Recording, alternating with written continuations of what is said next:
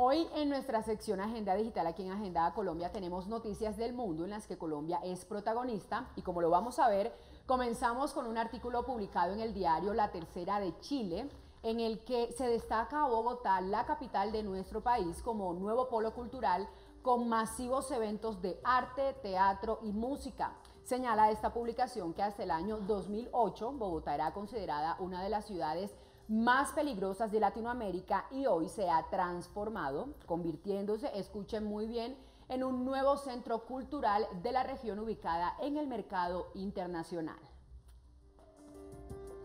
Y de Chile pasamos a Argentina porque el diario de turismo de ese país resalta en un artículo varias poblaciones colombianas que son patrimonio nacional y que conservan la historia de Colombia. Además ofrecen experiencias únicas para los turistas. El portal invita a los viajeros a conocer Salamina en Caldas, Monpós en el departamento de Bolívar, Buga en el Valle del Cauca y Jardín en el departamento de Antioquia y también invita a todas las personas a dejarse cautivar por los bellos paisajes cafeteros, las exóticas flores, las artesanías y la religiosidad que ofrecen estos atractivos lugares de nuestro hermoso y bello país.